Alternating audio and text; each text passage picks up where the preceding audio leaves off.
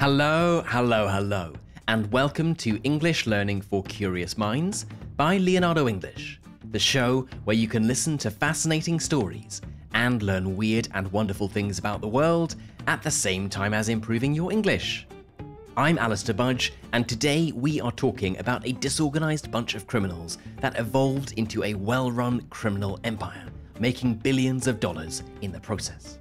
A violent force that murdered, extorted, intimidated, and stole to get what they wanted, but also wielded enough political power to influence elections, control entire industries, and even change policy. I'm talking, of course, about the five families of New York, the city's Italian American criminal underworld. There is a lot to talk about, so we are going to split this into two parts. Today's episode will look at the early years, the infighting and the modernization of the Italian American mafia. In part two, we'll look at the business of the five families, their cultural significance, and their downfall. Okay, then, let's get into it and talk about the five families and the business of crime. On the afternoon of the 15th of April, 1931, an armoured car pulled up outside the Nuova Villa Tammaro restaurant in Coney Island, New York. Two bodyguards got out, and then a third, smaller, chubbier man followed. His name was Giuseppe Masseria. He made his way to a table at the back of the restaurant, where a man was already waiting. The restaurant was quiet that afternoon. There was nobody else around. Masseria sat down at the table and ordered some bread, wine, and coffee. But this man, Giuseppe Masseria, was no ordinary customer. He was known all over New York City as Joe the Boss Masseria. He was the head of the Genovese crime family. And the man waiting at the table was one of his lieutenants, a man called Charles Lucky Luciano. Their food arrived, and the restaurant owner quietly told his staff to stay in the kitchen and that he was going for a walk. A while later, at around 3 pm, as Joe the boss played an after lunch game of cards, Luciano excused himself and went to the bathroom. I gotta take a leak. Then a group of men came up behind Masseria and shot him several times in the back and once in the head. His body flopped forward onto the table and then fell onto the floor. The men left behind their guns, hats, and coats and jumped into a getaway car with tires screeching on the road. Joe, the boss, was dead. A pool of blood leaked across the restaurant floor. In Masseria's bloodied hand was the ace of spades, the death card. Though it's likely that one of the gunmen planted or put the card there to make some kind of point or send a message, some believe that Masseria was holding the death card at the very moment he was killed. Nobody was ever convicted of the murder, and there were, of course, no witnesses. But in those days, back in 1931, Murders like this had become normal. Joe the boss was just another statistic, another hit, as wise guys say, in an ongoing war. Dozens of these murders, of these very public executions, had been going on across New York during a bloody war between competing factions of the city's Italian criminal underworld.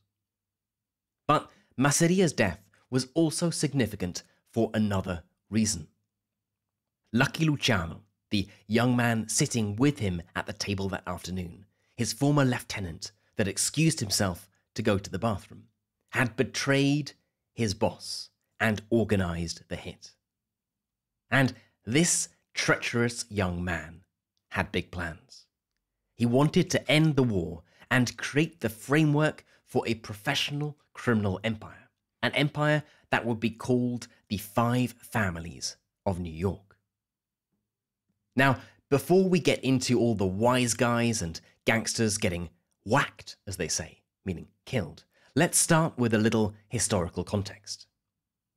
For this, we need to travel back across the Atlantic Ocean, not just to Italy, but to a very specific part of Italy, Sicily. Now, in case you don't know where it is, Sicily is an island in the Mediterranean Sea. If you think of Italy like a foot kicking a football, Sicily is the football. And Sicily is where it all began. Due to its strategic location between Africa and Europe, over the years, Sicily had been invaded by the French, the Romans, the Spanish, the Arabs, and even the Phoenicians. And in order to defend against whoever was the invader of the day, the local population had for hundreds of years organized themselves into groups to defend their land. By the 19th century, these small gangs had become known as mafia, and they charged landowners money in return for protection. It was a very common mafia method of making money, as we will see in New York a little bit later in the episode. As a quick side note, this word, mafia, is believed by historians to come from a colloquial, uh, informal Sicilian Arabic phrase that roughly means acting as a protector against the arrogance of the powerful. Over the decades, these groups grew in strength and size, exerting more and more influence on the island. And after Sicily became part of Italy in 1861, these groups even cooperated with the government to keep other rival groups in check, under control. In return, the authorities turned a blind eye. They ignored the Sicilian mafia's own criminal activities, which were quite extensive by this point.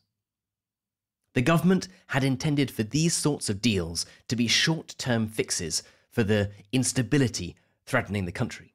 But as the 19th century progressed, the Sicilian mafia began using its muscle, uh, power, to influence politics, business, and even the Catholic Church. So, by the late 19th century, the mafia was a force to be reckoned with. This period also coincided with a period of mass emigration from Italy, in particular Sicily, across the Atlantic to the United States. From the 1880s to the 1920s, over 20 million immigrants arrived in the United States looking for their slice of the American dream. A large chunk of these were Italians. In the 1890s, 600,000 Italians came to the United States, and by 1920, over 4 million had come. Lots of Italians came from southern Italy, places like Napoli, Calabria, and Campania, and, of course, from Sicily. Many of them settled in the Mulberry area of Manhattan, and the neighborhood was home to so many Italians that it quickly became known as Little Italy. The Italians arriving in New York at the turn of the 20th century generally stayed together, ate Italian food, spoke Italian, and lived together. They were, by and large, treated by the local population as second class citizens, only able to get low level manual jobs. But America was the land of opportunity, and there were plenty of enterprising young men who sensed new possibilities, even if those possibilities were highly illegal. And this criminality is believed to have started in a fairly unorganized, petty way, far from the tightly controlled criminal empire that Lucky Luciano would preside over several decades later. At the beginning, there were various loosely connected Italian gangs constantly warring with Irish and Jewish gangs, but also with one another.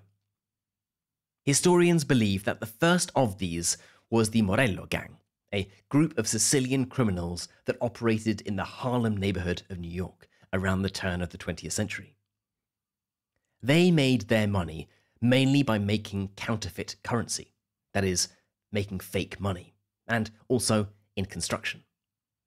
They also owned grocery stores and restaurants, and made money by intimidating their rivals out of business or demanding protection money from them, as their forefathers had done back in Sicily decades before.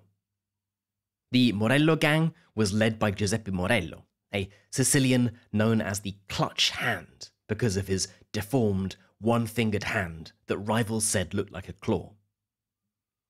In the early 1900s, Morello teamed up with another Sicilian, Ignazio the Wolf Lupo, and the two began asserting their dominance in New York by murdering their opponents.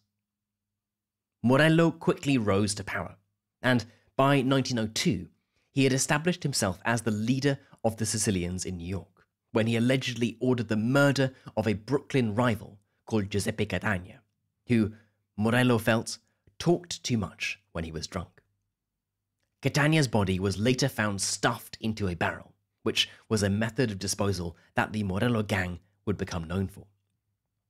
By 1905, Morello was generally thought to be capo de tutti capi, or boss of all bosses. But in 1910, he was convicted of counterfeiting, of creating fake money, and sentenced to 25 years in prison.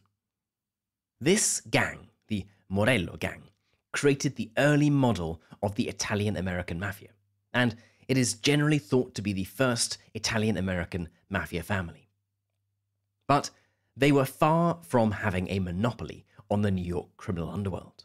They were constantly jostling for power with other organized criminal gangs, often with origins in other areas of southern Italy, namely Naples and Calabria, regions with their own organized criminal systems, Camorra in Naples and the Ndrangheta in Calabria. And throughout the 1920s, they warred with each other, betrayed one another, and many even switched sides. By the late 1920s, things were coming to a head. The Prohibition era, which had started in 1920, had been great for business, as the alcohol trade was strictly controlled by criminals. But it had also cost a lot of lives, as organized criminals vied for control of bootlegged alcohol. There were many disparate, separate groups, all fighting one another. So, how did these different groups of disorganized murderers and criminals end up in a highly regulated organization with hierarchies and rules? Well, as with most things that concern the mafia, it all started with war, a war that would become known as the Castellammarese War. In fact, we've already heard a bit about the Castellammarese War. We certainly heard how it ended in the introduction to this episode with the execution of Joe the Boss. This war, which lasted from February in 1930 to April of 1931, is viewed by most as the beginning of the New York mob as we know it, transforming it from a group of divided, warring criminal factions into an organized crime syndicate run like a business. By 1930, the Italian underworld in New York had two main factions, both of which were Sicilian. One group was led by Joe the Boss Masseria, who largely kept his gang to other Sicilians and southern Italians. This group was called the Masseria faction. The other group was called the Maranzano faction and was led by a man called Salvatore Maranzano, who was himself being advised by another powerful figure called Don Vito Ferro, who was pulling the strings from back in Sicily. So, what was this war all about? Well, on the surface of it, it was about money and power, like most wars. Maranzano declared war on Masseria. There was bloodshed as bullets flew through the streets of New York. But beneath the surface, it was about competing visions of what the mafia should be. These visions weren't split by region or by faction, but tended to be split down generational lines.